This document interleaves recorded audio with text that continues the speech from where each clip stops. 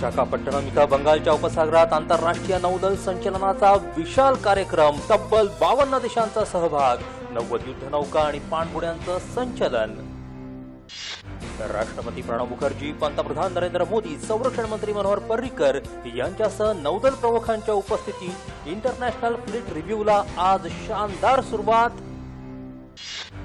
भारतीय नौदल अधिक शक्तिशाली करण्यासह आंतरराष्ट्रीय सामरिक सहकार्य मिळवण्यात आणि मेक इन इंडिया मोहिमेलाही बळ देण्याचं काम करणार नौदलाचं संचलन. सातवा वेतन आयोग आणि वन रँक वन पेन्शन योजना लागू करण्यासाठी पुढील वर्षी तब्बल एक लाख दहा हजार कोटी रुपयांची तरतूद करावी लागणार वित्त मंत्र्यांनी दिली माहिती. उद्दिष्टापैकी एक तृतीयांश विद्युतीकरण पूर्ण गेल्या वर्षभरात देशातल्या पाच हजार सव्वीस गावांचं विद्युतीकरण झाल्याची केंद्रीय ऊर्जा मंत्र्यांची माहिती. राज्य सरकारी कर्मचाऱ्यांच्या महागाई भत्त्यात सहा टक्क्यांची वाढ करण्याचा राज्य सरकारचा निर्णय.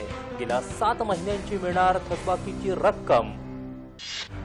पंतप्रधान कौशल्य विकास योजनेत दहा लाख लोकांचा सहभाग सत्तर टक्के लोकांचं प्रशिक्षण पूर्ण तामिळनाडू मध्य प्रदेश पश्चिम बंगाल आणि आंध्र प्रदेश या राज्यांची आघाडी. कोकण रेल्वे नव्या वर्षात एकशे सदुसष्ट विशेष गाड्या चालवणार. काही गाड्यांच्या विस्ताराचीही कोकण रेल्वेचे नवे अध्यक्ष संजय गुप्ता यांची घोषणा. बेंगळुरूमध्ये टांझानियाच्या युवतीवर झालेल्या हल्ला प्रकरणी कर्तव्यात हयगय केल्याच्या आरोपावरून तीन पोलिसांवर कर्नाटक राज्य सरकारनं केली निलंबनाची कारवाई. गुजरातमध्ये राज्य परिवहन मंडळाच्या बसला नवसारीत अपघात. बेचाळीस जणांचा मृत्यू तर चोवीस प्रवासी जखमी.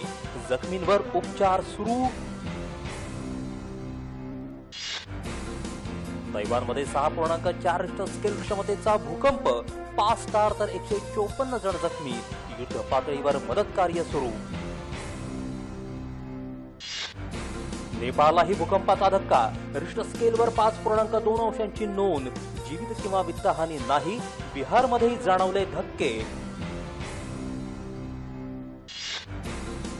परराष्ट्र व्यवहार मंत्री सुषमा स्वराज श्रीलंकेच्या दौऱ्यावर. आरोग्य आणि शिक्षणाशी संबंधित दोन सहमती पत्रांवर स्वाक्षऱ्या. मच्छीमारांच्या समस्यांवरही होणार चर्चा. मैत्रेय ग्रुपच्या गुंतवणूकदारांचे धनादेश न वाटल्यानं फसवणुकीच्या आरोपावरून संचालक वर्षा सप्पाळकर यांना नाशिकमध्ये अटक.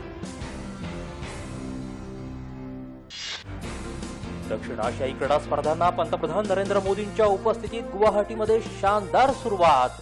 आठ देशांच्या अडीच हजार खेळाडूंचा सहभाग. टी ट्वेंटी विश्वचषकासाठी भारतीय क्रिकेट संघाचं नेतृत्व महेंद्रसिंग धोनीकडे कायम.